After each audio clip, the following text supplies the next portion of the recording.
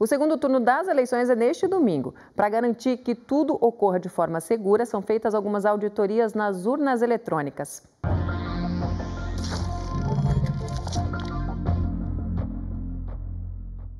O sistema de votação na urna eletrônica é considerado modelo em todo o mundo. A tecnologia, implementada na década de 1990, agilizou a apuração e a divulgação do resultado das eleições no Brasil. Mas para garantir que tudo ocorra de maneira segura, a Justiça Eleitoral realiza auditorias para manter a transparência do processo de votação.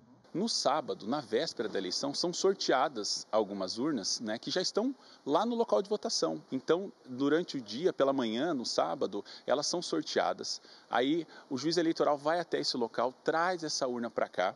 E aí, no domingo, existe essa simulação né, de uma votação. É filmado o tempo inteiro, os votos que são inseridos, e ao final se espera que a urna dê exatamente aquele resultado dos votos que foram ali inseridos. O processo de auditoria realizado em 35 urnas eletrônicas do Paraná no primeiro turno das eleições apontou a autenticidade dos sistemas eleitorais e a segurança na captação e contagem dos votos. Para o segundo turno, uma nova auditoria será realizada. As auditorias são transmitidas pelo Tribunal Regional Eleitoral na internet e qualquer eleitor pode acompanhar o processo. Foi feito então isso no primeiro turno, vai ser feito no segundo, tem também a comissão de auditoria e verificação eleitoral, tudo isso é feito de maneira constante e pode ser acompanhado por qualquer interessado. O Tribunal de Contas da União também realiza auditoria do processo eleitoral. Ao todo, 249 sessões eleitorais no Paraná foram sorteadas e os boletins de urna do primeiro turno encaminhados para averiguação.